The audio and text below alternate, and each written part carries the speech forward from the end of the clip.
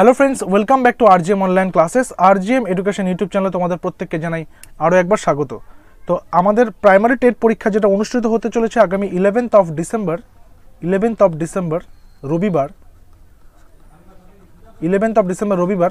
তো আশা করি তোমাদের প্রত্যেকের কাছে তোমাদের নিজস্ব যে পরীক্ষার অ্যাডমিট কার্ড সেটা তোমরা ডাউনলোড করে নিয়েছো এবং অবশ্যই সেটা যেন দুই কপি তোমরা প্রিন্ট করে নিতে পারো, ঠিক আছে? দুই কপি প্রিন্ট কিন্তু অবশ্যই করতে হবে।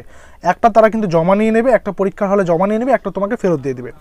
আচ্ছা এবার দ্বিতীয় কথা হচ্ছে, তোমাদের বাড়ি থেকে তোমাদের এক্সাম সেন্টার কোথায় পড়েছে, তার যে ডিস্টেন্সটা সেটা তোমরা কতটা ডিস্টেন্স রয়েছে, যেতে কতটা সময় লাগবে মিনস অফ ট্রান্সপোর্টেশন কী রয়েছে, কীভাবে সে জায়গাতে পৌঁছাবে, কতটা সময় তোমার লাগবে, সেটা নিশ্চয়ই তোমরা মেজার করে নিয়েছো। না করে নিলে সেটা আজকের মধ্যে করে নেবে, কারণ পরীক্ষার আগে কিন্তু এগুলো নিয়ে ধরপাকড় করলে তোমরা বিপদে পড়ে যেতে পারো। কারণ তোমাদের পরীক্ষা শুরু হচ্ছে বেলা বারোটা থেকে এবং পরীক্ষাটা চলবে আড়াইটা পর্যন্ত। এবং এটা তোমরা মেক শিওর করো ইলেভেন এম এর পর ঘরে কিন্তু, অর্থাৎ ঘরে বলতে স্কুলে আর ঢুকতে দেওয়া হবে না, বা কলেজে যেখানে পরীক্ষা হবে সেখানে আর ঢুকতে দেওয়া হবে না। এবং সেখানে ইনস্ট্রাকশন রয়েছে অ্যাটলিস্ট দু ঘণ্টা আগে অ্যাটলিস্ট দু ঘণ্টা আগে সেখানে কিন্তু পৌঁছাতে হবে এক্সাম সেন্টারে পৌঁছাতে হবে।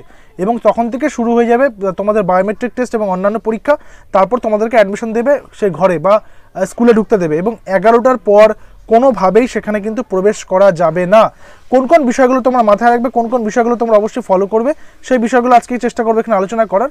তার পাশাপাশি একটা কথা বলে রাখি, দু কপি অ্যাডমিট কার্ড তো তোমরা নিশ্চয়ই এগারোটার সকাল এগারোটার মধ্যে সেখানে পৌঁছে, তার আগেই পৌঁছাবে, দু ঘণ্টা আগে অর্থাৎ দশটার সময় পৌঁছাবে এবং এগারোটা হচ্ছে লাস্ট টাইম এগারোটা হচ্ছে ক্লোজিং টাইম এগারোটার পর আর কাউকে অ্যালাই করা হবে না অ্যালাউ করা হবে না, পরিষ্কার বলে দিয়েছে।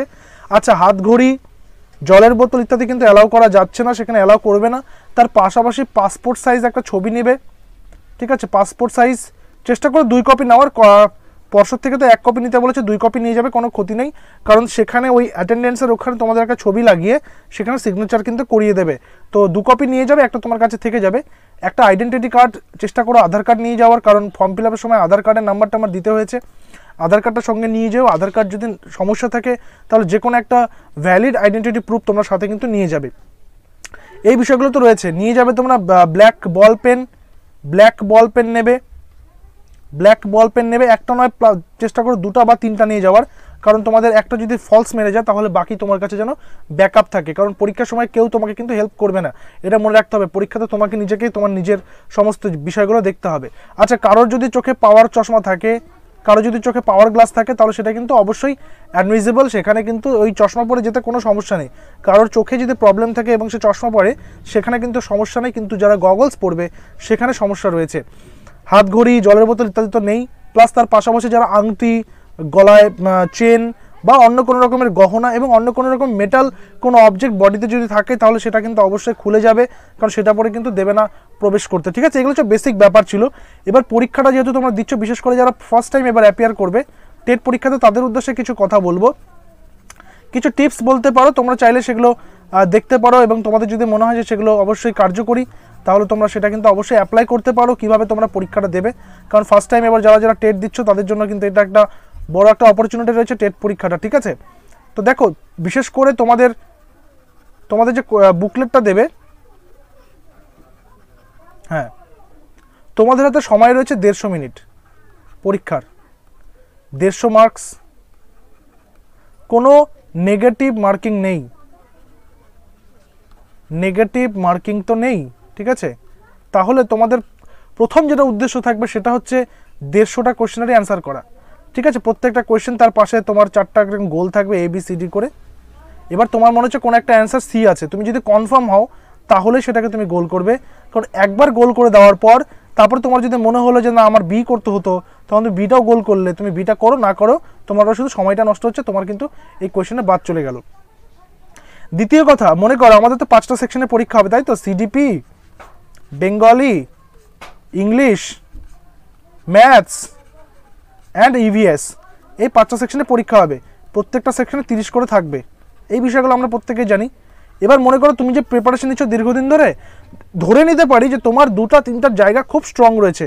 তুমি ইভিএসটা দুর্দান্তভাবে প্রস্তুতি নিয়েছো। তাহলে তুমি কি করবে? সবার আগে কি ইভিএসটাই শুরু করো? সবার প্রথমে কি ইভিএসটা শুরু করো?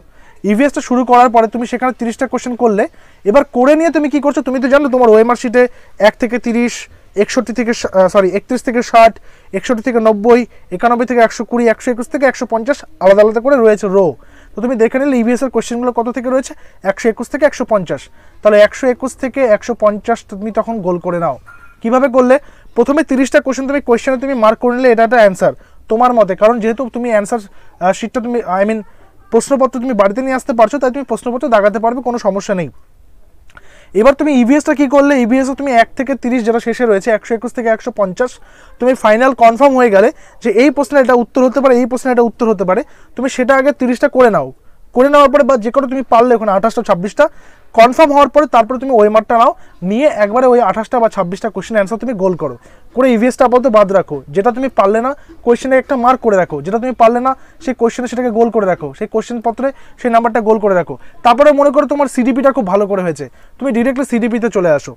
তুমি ডিরেক্ট সিডিপিতে চলে আসো সেখানকার প্রশ্নগুলো করো। ধরে নিচ্ছি, তুমি সিডিপি থেকে ছাব্বিশটা কোয়েশ্চেন সঠিক তোমার একদম কনফার্ম তুমি আগে কোশ্চেন অ্যান্সারটা দাগিয়ে নিয়েছো। তারপরে ওই মার্কটা নাও। ওই মার্কটা নিয়ে তারপরে ওই যেই ছাব্বিশটা কোশ্চেন তোমার ঠিক হলো বা আঠাশটা কোশ্চেন তোমার ঠিক হলো, সেগুলোকে তুমি নাম্বার মিলিয়ে মিলিয়ে কনফার্ম হয়ে হান্ড্রেড পার্সেন্ট কনফার্ম হয়ে ওই মার্কটা গোল করো। তারপরে তুমি চলে যাও বাংলা বা ইংরেজিতে বা ম্যাথে যার যেখানে তোমার ইয়ে রয়েছে স্ট্রেংথ রয়েছে, বাংলা, ইংরেজিতে গিয়ে তুমি আগে কম্প্রিহেনশনটা করো। টেক্সটটা ভালো করে পড়ে নাও। পড়ে যেখানে তোমার ইম্পর্টেন্ট মনে হচ্ছে এই লাইনটা গুরুত্বপূর্ণ বলে মনে হচ্ছে, সেই লাইনটা নিচে দাগ দাও। সেই কথাগুলো নিচে দাগ দাও। কোনো তথ্য, কোনো নাম, কোনো তারিখ, কোনো ডেট কোনো বইয়ের নাম, কোনো জায়গার নাম, কোনো মানুষের নাম, কোনো অ্যাওয়ার্ডের নাম, কোনো বিশেষ কিছু নাম, কোনো নিউজ পেপারের নাম, সেগুলো নিচে আন্ডারলাইন করো। নিচে দেখবে ওগুলো থেকেই প্রশ্ন আছে। ওই প্রশ্নগুলো অ্যান্সার করার পর যেগুলো ব্যাকরণ রয়েছে বা গ্রামার রয়েছে, সেগুলো যদি তৎক্ষণাৎ পারো তো ভালো কথা তুমি করলে, না পারলে সেগুলো তখনের জন্য ছেড়ে দাও, গোল করে রাখো। যেগুলো তুমি বাদ দিচ্ছ সেগুলো যেন তুমি মার্কিং করে রাখবে, যাতে করে তুমি বুঝতে পারো। তারপর তুমি ম্যাথে চলে যাও। ম্যাথে চলে গিয়ে ম্যাথগুলো করো। এবার তোমার হয়ে গেল মোটামুটি তুমি যতগুলো পারতে নিজের মতন করে করে দিয়েছ। এইবার তুমি কি করো? এবার তুমি প্রথম থেকে যাও। সিডিপিতে যেগুলো তুমি বাদ দিয়েছ, যেগুলো তোমার বাদ গেছে যেগুলো তুমি কনফিউজ আছো বি বা বি আর সি এর মধ্যে বা এ আর ডি এর মধ্যে, তোমার যেটা কনফার্ম মনে হচ্ছে যে হান্ড্রেড পার্সেন্ট এটা কনফার্ম হতে পারে বা তোমার মনে হচ্ছে এটা সঠিক, তখন তুমি সেটা গিয়ে অ্যান্সার করো। বাদ কোনোটাই দেওয়া যাবে না, প্রত্যেকটাই করতে হবে। মেক শিওর তুমি দেড়শোটা অ্যান্সার করতে পেরেছ। দেড়শোটা অ্যান্সার করে এসেছ। এবং বিশেষ করে যখন রোল নাম্বারটা লিখছো, উপরে রোল নাম্বারের উপরে বক্স থাকবে। ঠিক আছে? প্রথমে বক্সে নাম্বার দিতে হবে এবং তার নিচে কিন্তু গোল গোল থাকবে। তো সেটা একটু সুন্দর করে ভেবে চিনতে টাইমটা নিশ্চয়ই পনেরো মিনিট আগে এটা দিয়ে দেবে তোমাদের। সেটা পনেরো মিনিট আগে সুন্দর করে ফিল আপ করে নেবে। সেটা যেন কোনো মতে ভুল না হয়। সেটা ভুল হয়ে গেলে তোমার কিন্তু পরীক্ষাটাই বেকার হয়ে যাবে। সেটা যেন ভুল না হয় কোনোভাবেই। এবং ইনভিজিলেটর যে থাকবেন, তোমার কোনো জায়গাতে কোনো প্রবলেম হলে তাকে নির্দ্বিধায় জিজ্ঞাসা করবে। তারা রয়েছেন তোমাদেরকে হেল্প করার জন্য। ঠিক আছে? তো এই বিষয়গুলো ফলো করে, এই বিষয়গুলো মেনটেন করে রিল্যাক্সে যাবে, কোনো অসুবিধা নেই এবং পর্ষদের কথা অনুযায়ী প্রত্যেকটা ঘরে দেওয়ালঘড়ি থাকবেই। তোমরা সময় সম্পর্কে অবগত হতে পারবে। এই টিপসগুলো তোমরা চাইলে ইমপ্লিমেন্ট করতে পারো বা তোমরা যেভাবে ভেবে রেখেছো, এইভাবে আমি পরীক্ষাটা অ্যাপিয়ার হব এভাবে পরীক্ষাটা দেবো, অবশ্যই তোমরা দেবে। খুব ভালো করে পরীক্ষা দাও, সকলকে অল দ্য ভেরি বেস্ট এবং পরীক্ষাটা হয়ে যাক নিয়ে পরে আমরা পর্যালোচনা করব, তখন আলোচনা হবে, সেগুলো পরের কথা। বাট এখন ফোকাস করে এবং প্র্যাকটিস যতটা করেছ, পুরনো কোনো কনসেপ্টের প্রবলেম থাকলে সেই কনসেপ্টের ভিডিও আমাদের চ্যানেলে রয়েছে।